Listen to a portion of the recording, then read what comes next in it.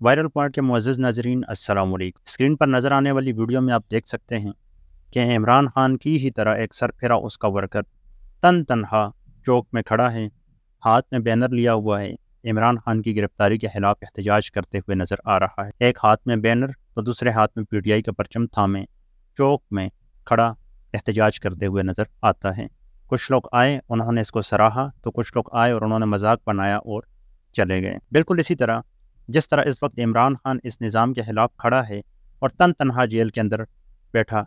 पाकिस्तान के बेहतरीन मुस्तबिल के लिए किसी भी चीज़ पर कंप्रोमाइज़ न करने के लिए डटा हुआ है। बिल्कुल इसी तरह इस शख्स ने एहतजाज करके सबको ये पैगाम दिया कि इसकी मिसाल उस परिंदे जैसी है जो अपनी चोंच में पानी के चंद कतरे लेकर जाता है और इब्राहिम सलाम की आग पर फेंकता है और जब उस परिंदे से पूछा जाता है कि तुम्हारे इस एक कतरे से क्या होगा तो वो ये जवाब देता है कि मैं तो सिर्फ़ अपना नाम दर्ज करवाना चाहता हूँ कि मैं आग लगाने वालों में से नहीं, बल्कि मैं आग बुझाने वालों में से हूँ।